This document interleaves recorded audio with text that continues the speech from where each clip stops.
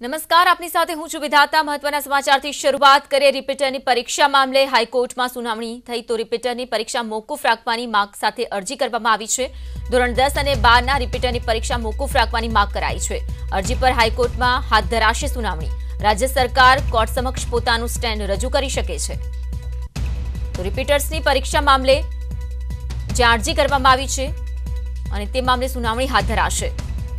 હાઈકોર્ટમાં સુનાવણીની પ્રક્રિયા કરવામાં આવશે. પરીક્ષા મોકૂફ રાખવાની માંગ કરવામાં આવી અને તે અંગે અરજી કરવામાં આવી છે.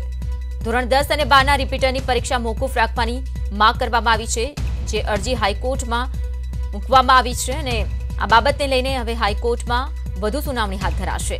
તો રાજ્ય સરકાર કોર્ટ સમક્ષ પોતાનું સ્ટેન્ડ રજૂ કરી શકે છે.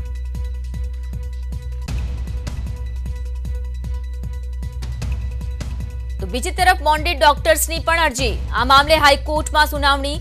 સાતસો નવ્વાણું બોન્ડેડ ડોક્ટર્સ સામે સરકારે જ્યાં નિર્દેશ આપ્યા હતા, એપેડેમિક એક્ટ અંતર્ગત પોલીસ ફરિયાદ નોંધવા આદેશ કર્યો હતો, નિર્દેશ કર્યો હતો, ત્યારે સમગ્ર મામલે બોન્ડેડ ડોક્ટર્સે હાઈકોર્ટમાં અરજી કરી હતી.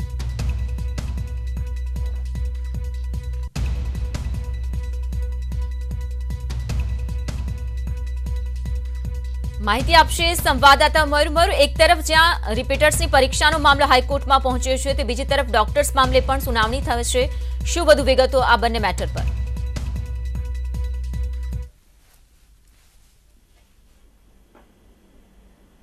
જી મયુર. બિલકુલ, આજે હાઈકોર્ટની અંદર સુનાવણી છે. ખાસ કરીને જો વાત કરીએ તો અ, જે રિપીટર વિદ્યાર્થીઓ છે તેના માટેની એક પિટિશન થયેલી છે અને રિપીટર અ, વિદ્યાર્થીઓને જે રીતે અ, સામાન્ય વિદ્યાર્થીઓને આ કોરોનાની અંદર માર્ચ પ્રમોશન આપવામાં આવેલું છે જે રીતે અ, ગણતરી કરવામાં આવી છે તે જ રીતે રિપીટરો માટે પણ અ, જે વાલી મંડળ છે તેમણે માગણી કરેલી છે તો તે અંગેની સુનાવણી આજે હાઈકોર્ટમાં હાથ ધરવામાં આવશે બીજી જે અંદર મહત્વની છે તે જે બોન્ડ ભરેલા ડોક્ટરો છે તેમની છે કારણ કે ઘણા આવા ડોક્ટરો જે છે તે સરકારી કોટા ઉપર પ્રવેશ મેળવે છે પરંતુ જે ગ્રામ્ય વિસ્તારની અંદર પ્રેક્ટિસ કરવાની હોય છે. જે પ્રેક્ટિસ નથી કરતા અને બોન્ડ પણ નથી ભરતા. અને આ જ મામલે આજે હાઈકોર્ટની અંદર સુનાવણી છે. રાજ્ય સરકાર પોતાનો જે પક્ષ છે તે રજૂ કરશે અને જોવાનું એ રહેશે કે હાઈકોર્ટ મામલે કેવા પ્રકારે અવલોકન કરે? જી જી, મયુર, આભાર. માહિતી બદલ.